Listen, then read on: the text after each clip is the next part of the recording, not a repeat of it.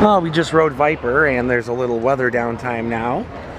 Um, off to the west and north, it, it looks kind of dark and especially off to the west, there were some big dark clouds. We could see the rain way down that way. And yeah, they just went down.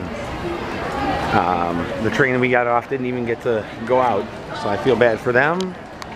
And yeah, you can feel it's cooled off again. So we'll see. Maybe some more rain.